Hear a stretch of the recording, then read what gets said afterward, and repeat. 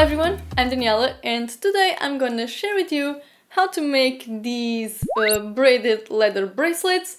These ones have a magnetic clasp so it's easier to take on and off but of course you can also use any clasp that you have. Uh, you only need to match the width of the clasp with the width of the cords. As usual, don't forget that the supplies are all listed in the description box, so if you have any questions or doubts about what, which thickness of cord did I use, you just have to check it out. And let's get started. Start by cutting 4 cords with 1 meter and 40 centimeters and a smaller cord with just 40 centimeters. Clip both ends of the smaller cord onto a piece of cardboard to hold it.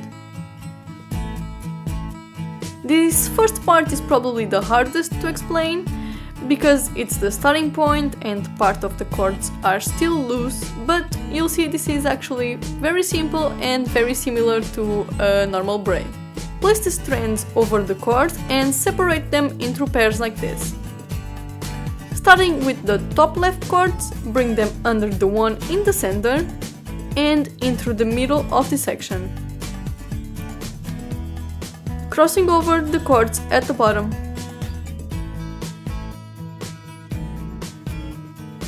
Then do the same with the right cords, bring them under, in through the middle of the left cords and cross them over the cords at the bottom again. Tighten it and repeat the process.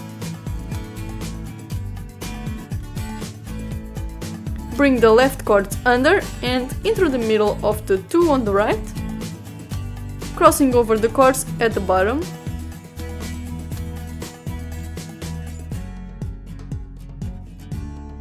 and take the right ones, bring them under and in through the middle, crossing over the cords at the bottom once again.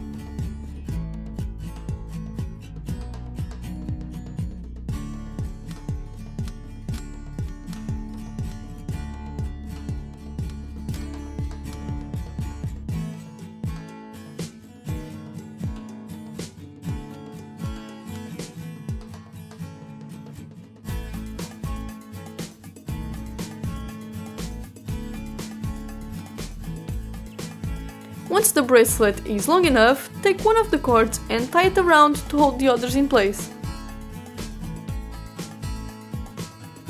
The last thing to do is attaching the closure pieces and as I said, I'm using the magnetic clasps. And to glue them in place, I find that the glue that works best is epoxy. For this one you're supposed to mix equal parts of both tubes, so I'm adding a drop of each and mixing them together. Then I just scrape the glue into the inside of the clasp and place the ends of the bracelet inside.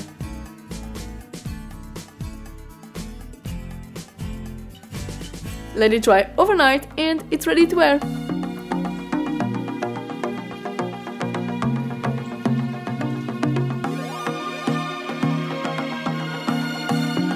Thank you so much for watching, I hope you enjoyed this DIY. If you did, please give it a thumbs up to support the channel and comment down below which colors would you use to make these bracelets. I went for the blue and purple, but of course there are a ton more color combinations and I'm very curious to see which ones you would use. Also, make sure to subscribe if you are new to the channel and I'll talk to you soon. Bye!